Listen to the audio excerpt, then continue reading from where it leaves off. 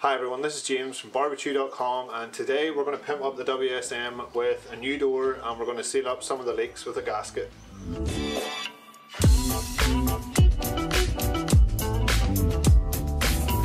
So at the beginning of the year I posted a video talking about the different grills I had and what I'm cooking on and I was talking about my WSM and that there was a few issues with it that I wasn't too happy with.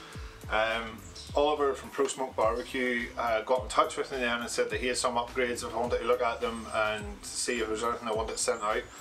So one of the big problems with the WSM is that the chamber isn't exactly sealed. It's not like a Kamado cooker where it's a really sealed chamber and it's airtight. So there is some leaks in the lid and the door. So Oliver suggested the Cajun Bandit door. So he sent over the door and the new latch for it is a lot heavier grade than the, the one that's on the WSM. And then to solve the lid issues, they have gaskets. So um, this gasket then will go around the rim of the lid and there's also enough then to do the door as well. So this all comes as part of a kit from this Pro Smoke website. Um, Oliver did send me it for free, but if you want to get the kit for yourself, uh, this is the one for the 47 centimeter uh, WSM and it costs around 66.99 so I'll leave links in the description for that but we're going to go ahead and start with getting the gasket installed around the lid. So I've already cleaned down the lip of the drum. Uh, just give it a good scrub with hot soapy water to take the grease off it and then clean it with a degreaser. So you don't want any grease or gunk stuck on there because these gaskets are self-adhesive. And if there's any grease left on there this isn't going to stick properly. So I've already done that to save us a little bit of time so we're going to go ahead now and try and fit this. So you just peel the, the white paper off. Don't take this off ahead of time because it's going to end up stuck everywhere. And then just start at the edge of the drum.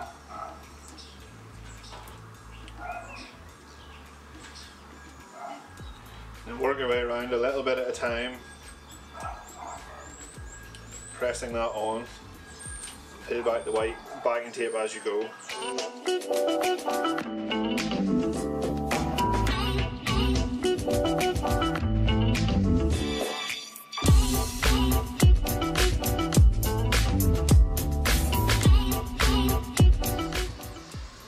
Take your time on it just to try and make sure you get a good seal all the way around.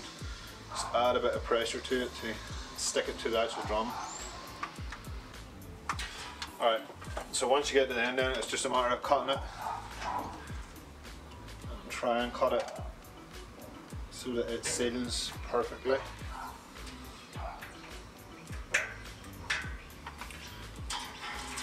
This is what we have left. Just take off the last piece of white backing and press it down. That seems to be stuck pretty well all the way around.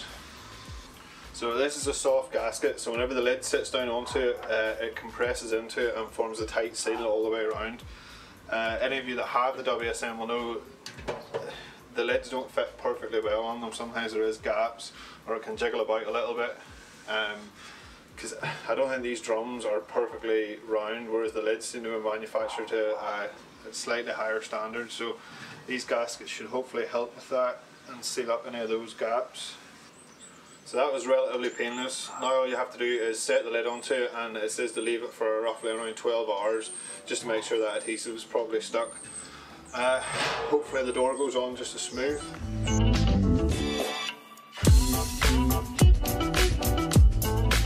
Far as the door and the WSM goes, the one that comes with it really isn't a tight fit to the drum. So this is probably where most of the smoke uh, leaks from. So you will find that you end up with these brown marks all up around the sides of the doors and that's because the smoke is leaking from there and then staining the outside of the drum. Uh, as far as this actual door latch, there's really nothing to it and also the door is quite flimsy itself. Um, it does the job, you can get by with it, but certainly the Cajun Bandit door is a much heavier door uh, and also this latch then is a locking latch so uh, whenever you want to open it, you flip the handle up and that releases the pressure then so it pulls the door tight in against the drum which again stops any leaks. As an extra measure then you also have the gasket tape so you can run a seam of that around the inside of the door and then once that handle is locked into place that'll compress that gasket against the drum and give you an airtight seal. So once again I've cleaned the door with degreaser just to make sure there's nothing on there. Uh, it's brand new so there shouldn't be too much on it but any manufacturing oils might stop the adhesive sticking. So we're going to go ahead and put it around the inside of the door and then we're going to fit the latch and actually mount it to the WSM drum. So we're going to do this in a similar fashion to we done the drum. Just start, peel off a part of that white backing tape. Lay it along the edge of the door. This door overlaps a little bit more than the WSM original door does which is what allows this gasket to sort of stick as neat as possible.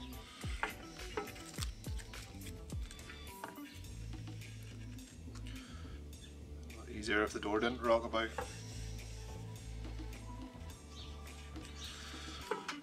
Down to the end, pair of scissors, cut it off, and same again along the other side.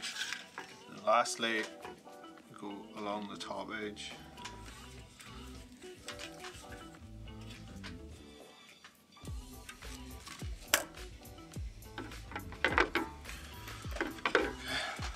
So that should give us our seal all the way around. Get rid of some of this stuff. Okay, so the handle has a few parts to it. Um, first thing we're going to do is actually mount it to the door. This is a square nut, so the handle fits through quite snugly. Snugly, is that a word? It's a word now. And on with your locking washer and the nut I think finger tight is probably tight enough on these things. If it starts to loosen off, I'll go back in and tighten it with the spanner. But then this is the part which will hold the actual door latch. So we need to mount this really to the drum to get it set properly, but I'll start by putting on the first nut and the little locking washer. And then we'll get the door onto the actual WSM and get it tightened. So before you go ahead and put the door on, I recommend locking this part of the handle down because that will be in its fully closed position and that'll let us set where that latch is put to. So we put it inside the drum and hold it closed with our thumb. This is the little latch then which, which will hold the door closed. So that goes on next. And now it's a matter of adding this little thing which holds the latch in place. And then finally the nut, the last nut.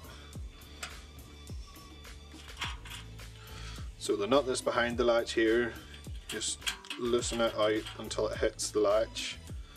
And then this nut we need to give a tighten. So we just have a socket here. I don't want to overly tighten it, but just to sweeten it up enough that there's some pressure there. So that's the door fully installed now and you'll notice if I lift the handle on the outside the door pops out from the drum and then that allows you to turn and open the door. To close it up then, similar again, just push it in, turn your handle up into place and then as you press down on the handle that locks the door into position. I'll spin this around and show you that again from the outside. So once again this is the door in the lock position uh, if you pull this up, the door will pop out and then turn the handle and that allows you to open the door. This door, the WSM door, whenever you drop it down it would stay there, this door won't, it doesn't have the lips on the bottom of it. Uh, but that's probably a handy thing because this door is quite small to be adding charcoal to or checking your bottom grate so it's a good idea to get it out of the way. So to close it up, your handle's still closed down, turn the latch around and it's still sitting with a gap here at the top you press that handle down, that clamps the door into position. So that's a much tighter fitting door than the original WSM one.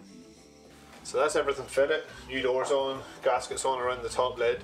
Uh, there is enough gasket left uh, to do around the bottom. I've never really had an issue with leaking around there, but I will keep that in case I ever spring a leak in that department. Uh, I'll leave links below if you want to check out this kit, if you want to get it for your own. It's available for the 37, 47 and 57 WSMs. Uh, whenever I fire this up and see how it performs, I'll let you guys know. But if you like this video, please give it a thumbs up. If you haven't already, subscribe to the channel and I will see you in the next video.